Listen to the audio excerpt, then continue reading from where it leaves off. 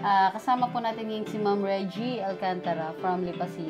Si Ma'am kasi ay two sessions na ngayon. Natapos na kami sa sessions.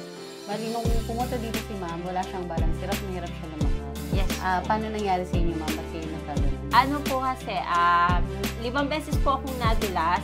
Yung pong unang beses po na pagkakadulas ko ay upong-upo po ako. Dalawang beses yon sa upong-upo. Tapos po, yung pong apat doon, nadulas ako na nakatayo lang ako, na, na out of balance ako, na maganang stop ako. Tapos yung iba doon, sa banyo, sa kusina, meron niya akong apat na tahi din sa ulo. Yun, Dahil may sa apat na tahi ko. siya. Ang dami niyang tahi nga daw nun. Tapos parang hindi ko siya masyadong, hindi ko siya nakuna ng video nun kasi in pain sobra talaga si ma'am. Apo. Hindi ko rin nakalain na sa first session, maganda yung magiging improvement sa kanya kasi in pain talaga siya. Ah, ma'am, kwento mo sa kanila yung ano, yung experience niya Ah.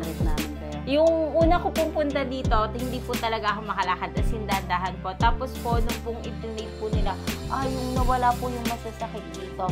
Kasi po halos hindi ko maitaas yung mga braso ko kasi sobrang sakit niya. Tapos pagka humihinga, parang sinusuntok sa likod. Ngayon po, iba-iba na po. Iba na po yung pakiramdam po, lalo na po kapag po ako magtataas sa kamay, tsaka po hindi na po parang sinusuntok. Tsaka po, iba na po yung paglakad ko. Gawa ng ang paa ko po ay Oo. hindi ko nahigit. Hindi ko nahihigit yung Sige aking nga, paa. ma'am, ah, pakita natin sa Yan. kanila yung lakad mo. Yan. Ay, my God! Yan po, oh. Yan na. Kasi Oh. dati kung maglakad talaga ako, ganito ako maglakad dati. Oh. Ngayon, okay na ako maglakad. Yes, okay na, okay na. Da. Ah, ma'am, Ikat ano, okay lang, invite mo yung mga viewers natin. ano po, ah, kayo po ay, sa totoo lang po, wala pong, wala po kaming makitang ganito sa lipa. Dahil po nakita po namin sa Facebook, naghahanap nga po kami ng chiropractor nga po. Nakita po namin yung mga videos ninyo.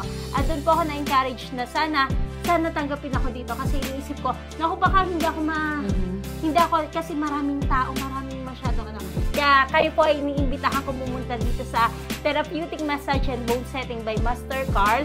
At kayo po ay gagaling. Kung ano po masasakit sa inyo, gagaling po kayo.